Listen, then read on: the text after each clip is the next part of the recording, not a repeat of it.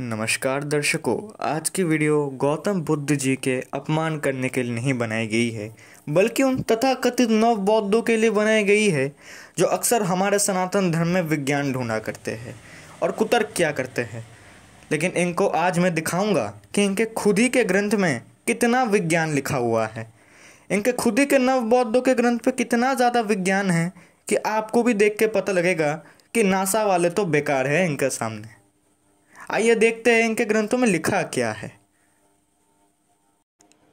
सबसे उत्तम विज्ञान का पहला सबूत यह है कि अक्सर कुछ नवबौद्ध हमारे पुराणों पर आक्षेप लगाए ये करते हैं कि तुम्हारे यहाँ से तो ये प्रकट हो जा रहे तुम्हारे ब्रह्मा के सिर से तो मनु प्रकट हो जा रहे लेकिन इनको ये बात जाननी चाहिए कि बुद्ध के पैर से क्या क्या प्रकट हो रहे हैं।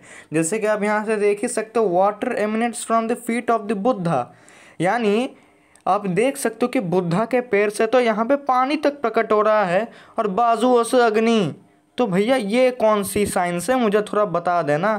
क्योंकि यहाँ तो कुछ और ही प्रकट हो रहा है। पैर से पानी होने का प्रकट का साइंस मुझे समझा नहीं नवबौद्ध तो मैं समझ जाऊँगा। जबकि अगले स्क्रप्चर में आप देख ही पा रहे हो कि बुद्ध इतने उस टाइम का सुपरमैन था। ये आपने बिल्कुल सही सुना सुपरमैन नाम की मूवी बुद्ध से ही इंस्पायर हुई थी, क्योंकि बुद्ध तो अपने भाई को पीठ पे बिठा कर ही स्वर्ग ले जा रहे थे। तो भैया, ये कौन सी साइंस है? मुझे ये भी ज़रूर बताना। अगला महान साइंस तो आप यहाँ पे खुद ही देख सक रहे हो, जबकि नॉर्मल बच्चे पेट से पैदा होते हैं, वही बुद्ध पीठ से पैदा हो रहे हैं। जैसा कि आप यहाँ पे मूर्ति पर देख सकते हो, ये है हमारी माया देवी और ये है हमारे प्यारे प्यारे बुद्ध जी। जो कि पीठ से पैदा हो रहे हैं। वैसे हमें इस पर शक नहीं करना चाहिए, क्योंकि ये भी बुद्धा भाई का कोई साइंस ही होगा। आइए बात करते हैं अगले विज्ञान की। जैसा कि आप यहाँ पर देख ही सकते हो इस शिलालेख में ऐसा दिखाया जा रहा है कि एक हाथी माया देवी के गर्भ में प्रवेश कर रहा है। वैसे इस चित्र को देख के मुझे ऐसा लग रहा था कि मानो स्पेस से कोई मीटियोर या एस्ट्रॉयड आके धरती पर जैसे गिरती है। उसी प्रकार से दूषित लोक से आया हुआ हाथी माया देवी के गर्भ में ही प्रवेश कर रहा है। तो भैया, ये वाली भी साइंस मुझे ज़रूर समझा ही देना। इसके बाद उस हाथी ने कैसे उसके गर्भ में प्रवेश किया और तथा माया देवी ने अपने सपने में देखा ही क्या? इसका भी वर्णन यहाँ पे देख आप सकते ही है।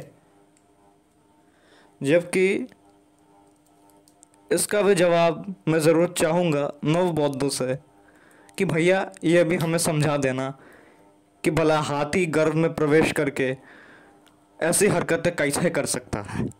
तो इसमें भी कोई साइंस ही होगा हमारे बुद्ध भैया का बौद्धि सत्व का, क्यों है ना? अगले स्कल्पचर में आप अच्छे से देख ही सकते जो बुद्ध या फिर तथाकथित नव बौद्ध ये बोला करते थे कि हमारे बुद्ध तो स्वर्ग को मानते ही नहीं थे, जबकि तुम्हारे बुद्ध इतने बड़े झूठे थे कि खुद ही जाके स्वर्ग गए, स्वर्ग से घूम के वो आ भी गए। जैसे कि आप यहाँ पे देख ही सकते हो कि यहाँ पे स्क्रप्चर में यह बताया जा रहा है कि त्रिमिशा नाम के स्वर्ग से बुद्ध आसमान से उतरते हुए दिखाई दिए गए हैं। जैसा कि आप यहाँ पे देख ही सकते हो तो भैया, एक बात बताना, बुद्ध ने बोला था, स्वर्ग नहीं होते, नरक नहीं होते। लेकिन भैया, खुद ही स्वर्ग माया देवी को जाके पीच करके वापस भी आ रहे हैं। तो भैया, मुझे कुछ समझ में नहीं आया, ये वाला साइंस भी। अगला बढ़िया साइंस भी आप यहाँ पे देख सकते हो, कि यहाँ पे गौतम बुद्ध घोड़े पे बैठे हुए हैं, और एक भगवान घोड़ों के दोनों टांगों को लेके नीचे करना क्या चाह रहे हैं, मुझे ये समझ नहीं आया अभी तक। कि आप यहाँ पे देख ही सकते हो कि गौतम बुद्ध तो घोड़े के ऊपर बैठे हुए हैं, लेकिन घोड़ों के टांगों के नीचे एक भगवान घोड़ों के टांग पकड़ के क्या कर रहे हैं? इसमें कौन सा साइंस है? ये आज तक मुझे समझ में नहीं आया। अक्सर कुछ तथाकथित नवबौद्ध हमारे हनुमान जी पे भी आक्षेप लगाया करते हैं कि तुम्हारे हनुमान जी कैसे असुरों को उठा उठा के फेंक देते थे बड़े बड़े पहाड़ उठा लेते थे। ये तो बड़ा ही अनसाइंटिफिक है, लेकिन मुझे यहाँ ज़रूर बताना कि यहाँ पे गौतम बुद्ध के कुछ भाई, सिद्धार्थ सिद्धार्थ गौतम बुद्ध, एक हाथी को हर्ट करके ओवर द सेवन वॉल्स और seven moats of the city very far away to save the citizen from his stench और यहाँ पे क्या लिखा जा रहा है? On the appointed day an elephant of a great size was brought into the city showing his strength Devadatta killed elephant with one blow of his fist next came Ananda who threw the animal outside this city of the gate तो भैया, इसमें कौन सा science है कि आप हाथी को घुमा के ही बाहर फेंक दो? ये तो रियल लाइफ में भी पॉसिबल नहीं है, जैसा कि आप यहाँ पे देख ही सकते हो। तो नवबोध, इसका भी साइंस मुझे ज़रूर आप लोग एक्सप्लेन करिएगा। गौतम बुद्ध इतने रैशनल थे या इतने महान साइंटिस्ट थे कि सर्प के काटे हुए जहर को काटने के लिए पखाना खिलाने की बात तक करते थे और मूत्र पिलाने की बात तक भी करते थे।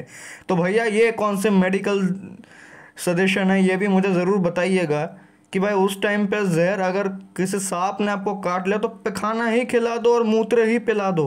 तो भैया, ये साइंस भी मुझे ज़रूर समझाइएगा। गौतम बुद्ध का महान साइंस जैसा कि आप देख ही सकते हो। यहाँ पे पॉज करके आप लोग पढ़ लीजिएगा। और भी महान महान चीज़ें जो है ये हमारे गौतम बुद्ध जी के। तो आज की वीडियो हम यहीं तक ही रखेंगे। और नव बौद्धो, ये तक तो आज, अभी तक बस एक ट्रेलर था। अभी तो हमारे पास अभी और ऐसे रेफरेंसेस पड़े हुए हैं। और आगे आगे देखते जाओ कि तुम लोगों के तथा कथित नवबौद्ध ग्रंथ को हम किस तरह के एक्सपोज करते हैं और तुम्हारे प्रोपोगंडा को किस तरह से ख़त्म करते हैं, ये भी ज़रूर देखिएगा। तो दर्शकों, आज के लिए इतना ही। जैसा कि आपने देख ही लिया कि बुद्धिज्म में साइंस ही कितना है, लेकिन बस इतना ही काफ़ी नहीं है। हम लोग अभी और लाने वाले हैं ऐसे ही कुछ रेफरेंसेस तब तक हमारे चैनल को सब्सक्राइब कीजिए और चैनल को शेयर भी कर दीजिए।